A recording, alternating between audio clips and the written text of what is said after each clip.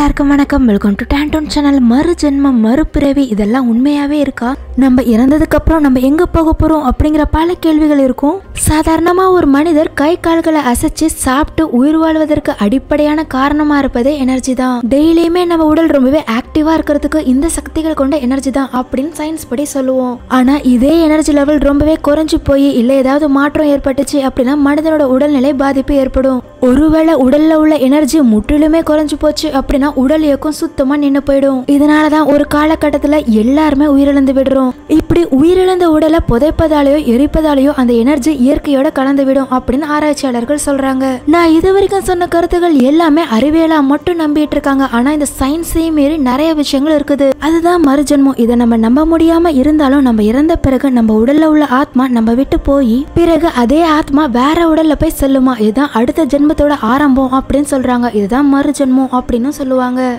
ஆன்மீகப்படி மறுஜென்மம் அப்படிங்கிற விஷயம் இருக்கா அப்படின்னு கேட்டா இருக்கு. இது உணர்த்தும் வகையில கருட புராணத்துல மறுஜென்மத்தை பத்தி சொல்லியிருக்காங்க. ஒவ்வொரு பிறவிலையும் நம்ம செய்யற தீமைகள் அடுத்த பிறவிக்கும் தொடரும். சோ இந்த பிறவில எந்த ஒரு தீமையும் செய்யாம இருக்கிறது நல்லது அப்படின்னு சொல்லியிருக்காங்க. இன்னொரு பக்கம் கடவுள் கிருஷ்ணர் அவர்கள் பல அவதாரங்கள் எடுத்திருக்காங்க. சோ மறுபிறவி இருக்கு அப்படிங்கிறதுக்கு இதுவே சிறந்த உதாரணம். இன்னும் டீட்டெயிலா சொல்லணும் அப்படின்னா ஏழு பிறவிகள் இருப்பது உண்மைதான். ஆனா ஒவ்வொரு உயிரினங்களுக்கும் ஏழு பிறவி இருக்கான் உதாரணத்துக்கு தாவரங்களுக்கு ஏழு பிறவி வள்ளிக்கு ஏழு பிறவி நாய் பூனை இந்த மாதிரி பல்வேறு உயிரினங்களுக்கு ஏழு ஏழு பிறவி அப்படின்னு கணக்கு பண்ணா நம்ம இந்த மனித இனத்துக்கு வரத்துக்கே பல கோடி பிறவிகளை தாண்டி தான் இப்ப இந்த மனித இனத்துக்கு வந்திருக்கோம். ஒரு சிறிய தாவரங்கள்ல இந்த மனித இனத்துக்கு வரத்துக்கே பல கோடி பிறவி ஆகும் அப்படி கடைசியான மனிதன பிறவி ஏழு பிறவியை நம்ம தாண்டிட்டோம். நல்ல செயல்களை செஞ்சு கடவுளோட அருளை பெற்றோம் அப்படின்னா நம்ம உடல் பிரிஞ்சதுக்கு அப்புறம் கடவுளோட ஆசையில நம்ம உடல் தானாவே தீப்பற்றி கடவுள்கிட்டயே போய் சேர்ந்துருவோம் அப்படின்னு பல உதாரணங்கள் சொல்றாங்க. இதுக்கு உதாரணமா தான் ஆதிசங்கரர். இது போல பல சுவாமிகள் இதை சொல்லியிருக்காங்க. அப்படி இந்த மனித பறவையில நம்ம கடவுளோட ஆசையை பெறல நிறைய தீங்கு செஞ்சுக்கிட்டே இருந்தோம் அப்படின்னா திரும்பவும் கீழே உயிரினங்களுக்கு தள்ளப்படுவோமா? இப்படியே இந்த சைக்கிள் சுத்திக்கிட்டே இருக்கும். கேட்கவே ரொம்பவே ஆச்சரியமா இருக்குல்ல?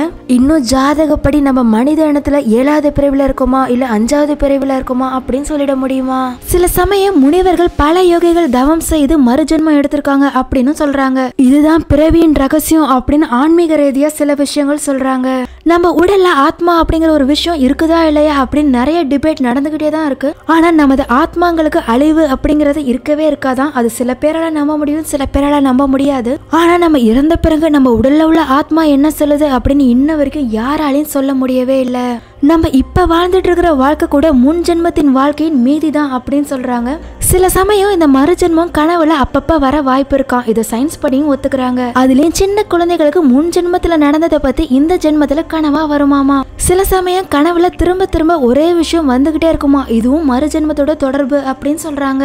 அதுலயும் சில சமயம் நிகழ்காலத்துல நடக்கும் நிகழ்வு ஏற்கனவே நடந்த மாதிரி இருக்கும். சில கலர்ஸை பார்க்கும்போது பல நினைவுகள் நம்ம மைண்ட்ல வந்துட்டு வந்துட்டு போகும். இது எல்லாமே மறுஜென்மத்தோட வாய்ப்பு தான் அப்படின்னு சொல்றாங்க. அதுவே இதை சயின்ஸ் படி பார்த்தா இது நரம்பியல் கோளாறு தேஜாவு அப்படின்னு சொல்றாங்க. ஏன் பல்வேறு மதங்கள் கூட மறுஜென்மம் இருக்கிறத உறுதிப்படுத்துறாங்க? அதே சமயம் மறுஜென்மம் என்பது அதிகமா குழந்தை பருவத்துல இருக்குமா? குழந்தைகள் வளர வளர அது மறந்துடுவாங்களாம் முன் ஜென்மத்தில் இருந்த மச்சம் சிறு தளம்புகள் பயம் இந்த மாதிரி பல பண்புகள் மறு ஜென்மத்திலையும் தொடருமா? ஒரு சுவாரஸ்யமான விஷயம் தெரியுமா? ஒரு கம்பெனி ஓனர் ஆயிரத்தி தொள்ளாயிரத்தி எண்பத்தி எட்டுல இறந்து போறாரு. ஆனா அதே முக அமைப்புல அதே வருடம் அதே நாள்ல ஆயிரத்தி தொள்ளாயிரத்தி எண்பத்தி எட்டுல ஜெர்மனி கால்பந்து வீரர் பிறக்கிறாரு. இவர்களின் பிறப்பு இறப்புக்கு இடையே ரொம்பவே சின்ன கால இடைவெளி தான் இருக்கு. சோ இது முன் ஜென்மத்தோட தொடர்பு அப்படின்னு சொல்றாங்க. உதாரணமா இந்தியாவில் ஒரு பெண் குழந்தை மறுஜென்மத்தை பத்தி கூறியிருக்காமா? அதுல இந்த குழந்தை நாலு வயது வரைக்கும் பேசவே இல்லையாம் பேசிய வார்த்தைகள் எல்லாமே மறுஜென்மத்தை பத்தியே சொல்லியிருக்கு. அந்த குழந்தை மதுரா அப்படிங்கிற ஊர்ல பிறந்திருக்கு. தன்னோட கணவரை பத்தி எல்லாம் நாலு வயசுல சொல்லியிருக்காமா? என்னோட கணவரோட பேர் கேதார்நாத். இந்த மாதிரி பல உண்மைகளை சொல்லியிருக்கு. அதுக்கப்புறம் ஆராய்ச்சி பண்ணி பார்க்கும்போது இந்த குழந்தை சொன்ன எல்லா விஷயமும் உண்மையாவே இருந்திருக்கு. இது எல்லாமே அங்க சுத்தி உள்ள மக்களுக்கு பெரிய ஆச்சரியத்தையே உண்டாக்கியிருக்கு. ஏன் இந்த விஷயம் உண்மையா அப்படின்னு சொல்லி காந்தியடிகளும் நிறைய ஆராய்ச்சி பண்ணிருக்காராம். ஆனா அந்த டீம் சொன்னதும் உண்மை அப்படின்னு தான் சொல்லியிருக்காங்க. இந்த மாதிரி பல ஆதாரங்கள் மறுபிறவி இருக்கு அப்படின்னு சொன்னாலும் சயின்டிஸ்டால இன்ன வரைக்கும் முழுமையா மறுபிறவி இருக்கு அப்படின்னு சொல்லி கண்டுபிடிக்க முடியல. அதே போல அனைத்து மறுஜென்ம கதையும் உண்மை அப்படின்னு சொல்லி நம்பவும் முடியல.